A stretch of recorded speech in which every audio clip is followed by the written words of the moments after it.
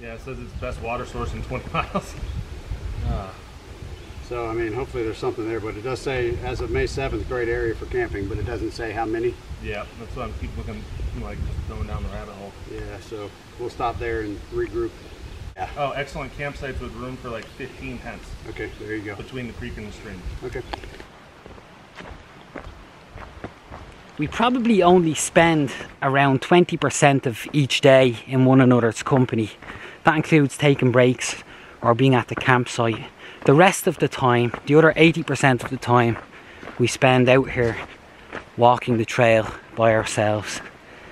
And that way, for me at least, it's the perfect mix, the perfect balance of solitude, time alone, and time spent sharing the experience with the people I am walking with.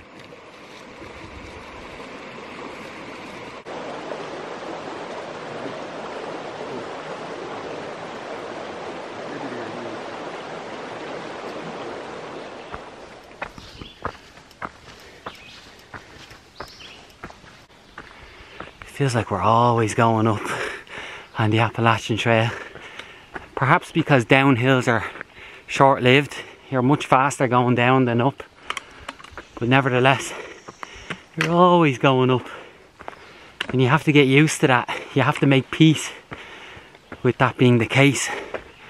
Otherwise, you're not only going to be disappointed, you're going to want to quit.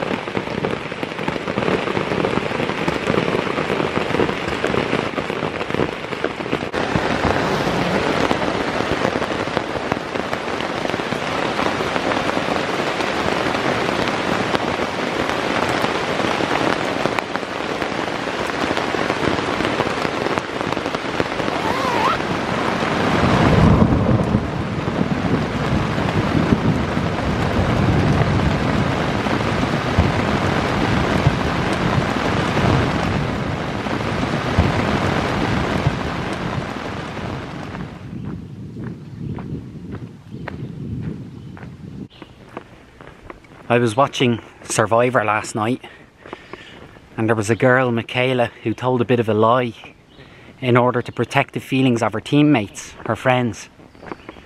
And a couple of days later, she was asked about that, and she said, You know, sometimes in life, you say what you, you're supposed to say, and sometimes in life, you say what you want to say. And I thought to myself, Whoa, what a, what a nugget, what a truth bomb which could be the basis for many of the biggest decisions in life. And then this morning I'm thinking about it in the context of when I left school and I went searching for a career, I decided upon banking and investments.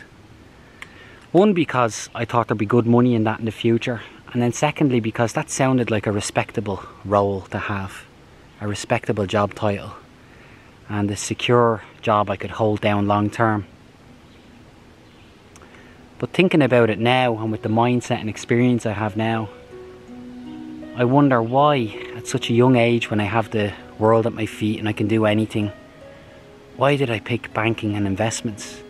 I didn't have anything holding me back, holding me down. I had no real ties or commitments, no mortgage, no debt, no children, etc.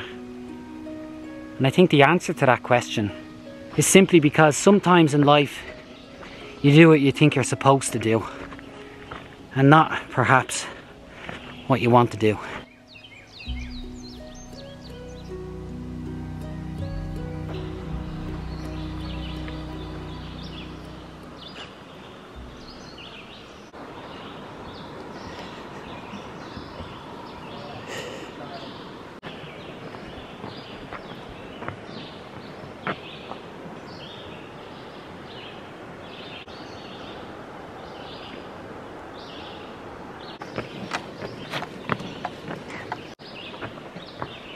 What a bridge. What engineering.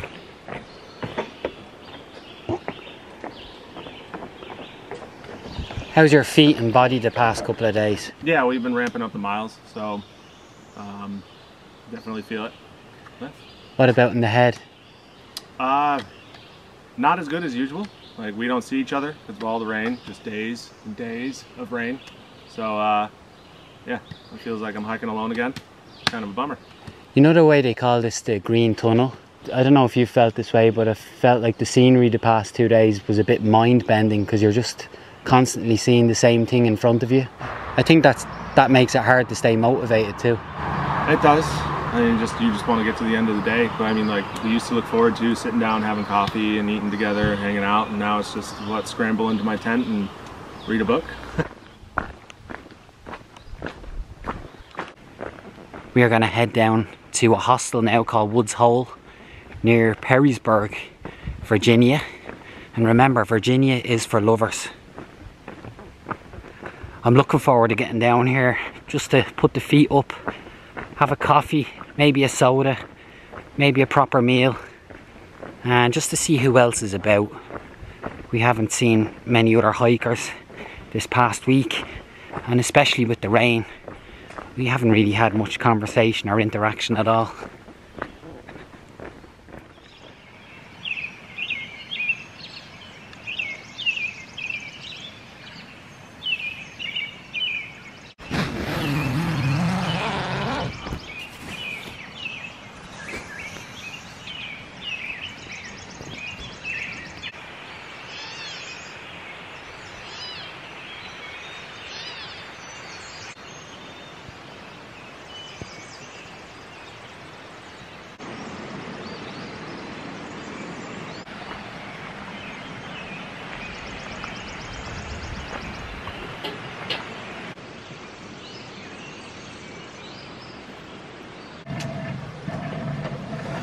My name's Soapy Joe, and I thought that was long, so I just started telling people, just call me Soapy.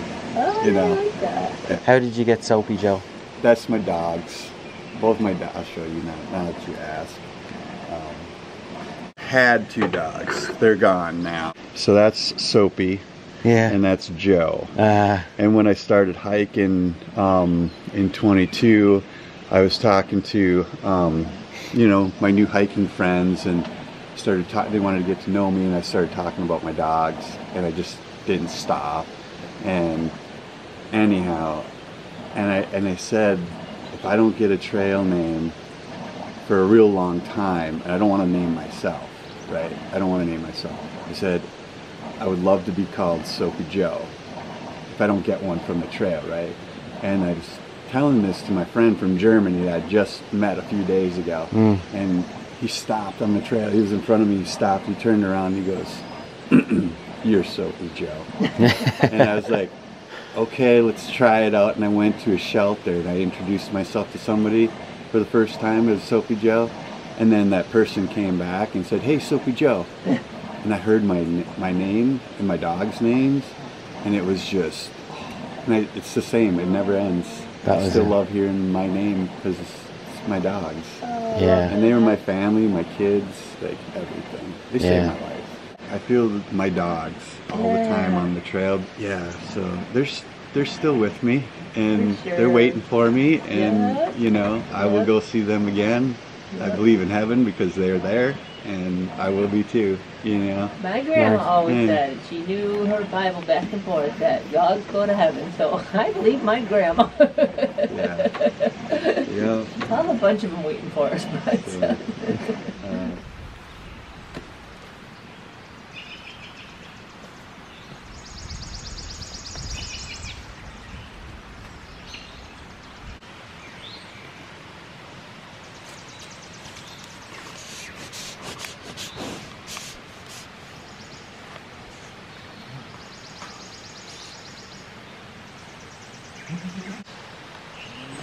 What was it that made you want to come out and hike the AT the first time? I didn't know the AT existed until about five months before I hiked it. And I started watching YouTube videos for just came on. And I could not shake this insane idea. And I left my career. My plan was to get in my van and go to Florida and just live. And on my way there, I had to stop at Amicalola and I asked God to give me an answer why I couldn't shake this insane idea. And on January 14th of 2022, I hiked up to Amicalola with no equipment, no gear, no trekking poles. I hiked up to Springer Mountain and when I got up there, I was I was just freaking out because I was like, there's the first white blaze, there's the plaque, all these things I've seen. And there was a guy sitting there, I didn't even notice him, a hiker. He was just sitting there by himself. And I was like, can you believe we're here? This is where it all starts, right? And he's like, well, this is where it ends for some people too. And I didn't even know about going south, right? I only knew north, right? And I said, did you just finish your hike? And he said, yeah. And I talked to this guy for 30 minutes and he had to go. And I hiked like about 200 yards on the AT. So I could say I hiked on the AT. Mm. And as I was coming back down, there's another hiker going north now. And I stopped to talk with him for a second and I said, how far are you hiking? And he, he, uh, he goes, I'm going to Maine. But he, he whispered it. And after I left that guy, he went north, I went south. I stopped about a minute later and I knew I'd gotten my answer from God. I just saw a guy finish his through hike and I saw a guy start his through hike. And I knew right there I wanted to be that guy. I wanted to be that guy that started and finished this trail. And right there I I continued to drive to Florida. I went to my first REI store and I walked in and they're like, can, can we help you? And I was like, I didn't know how to say it. I said, I think I want to hike the AT.